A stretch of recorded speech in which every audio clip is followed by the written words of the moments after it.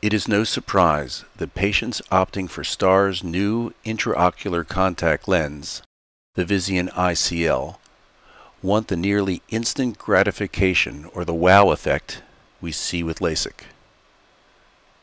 Fundamental to the wow effect is that both eyes can be fixed on the same day. We have started to perform the ICL surgery bilaterally, and this trend is rapidly becoming the standard across the country. Naturally, great attention must be paid to sterile technique and patient safety. Excellent pupillary dilation is needed, as well as adequate sedation.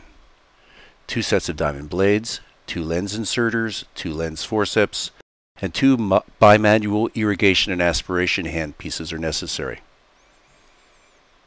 I usually load the second intraocular contact lens after rescrubbing, regowning, and regloving on a separate sterile table. This can be done while the nursing staff is reprepping the second eye and opening the new instrument set. This practice minimizes the time in surgery and reduces patient sedation requirements. This patient presented with nearly 13 diopters of spherical myopia.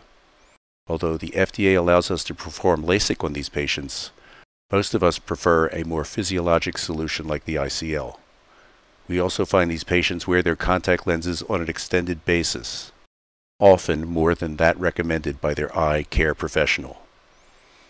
I have found an increased interest in the ICL for patients with only mild nearsightedness. This is a group that a year ago had LASIK exclusively. The safety profile is now comparable, and with bilateral same-day ICL insertion, we have eliminated convenience as an issue. Many refractive surgery patients like the reversible, removable nature of this lens. The visual correction provided by STAAR's Visian ICL is accomplished at the refractive nodal point of the eye. This equates to a larger optical zone when compared to that we can achieve with LASIK.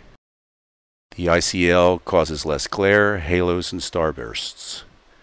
The ICL avoids the cornea entirely, so the patients with dry eye, thin cornea, or irregular astigmatism can be treated safely. I have successfully treated a number of patients with keratoconus and forme-fruste keratoconus without incident.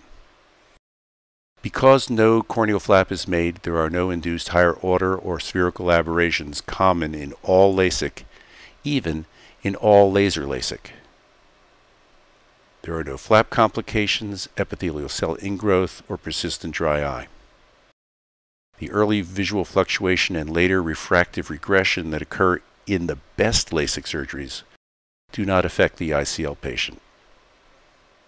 Epi-LASIK has no flap and consequently no flap complications or induced higher order aberrations. But the ICL beats Epi-LASIK in that visual recovery is nearly instant and vision in low light as well as contrast sensitivity is just as good.